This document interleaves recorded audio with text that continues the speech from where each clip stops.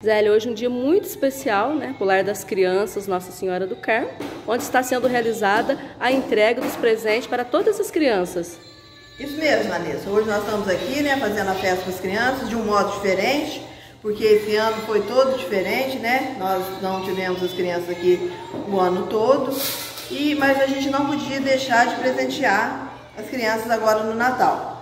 Então nós fizemos uma rifa e através do resultado dessa rifa a gente comprou os presentes para estar tá entregando a todas as crianças hoje.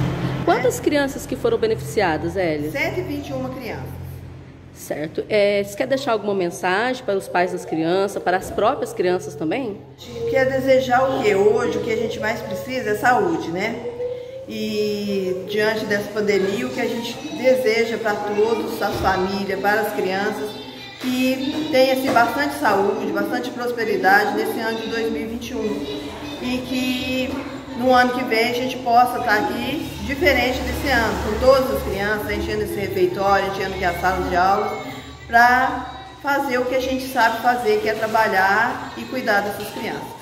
Gostaria de agradecer a todos os carmelitanos que nos, nos ajudaram durante esse ano, e se Deus quiser, o ano que vem vamos continuar ajudando, né? Para fazer essa alegria das crianças. Porque muitos não têm como ganhar brinquedo. Então, esse ano foi muito gratificante também, porque né, as pessoas ajudaram, a, é, comprando a rifa né, de um liquidificador de um mini micro-ondas Então, Deus pague a todos que nos ajudaram a fazer essa alegria das crianças.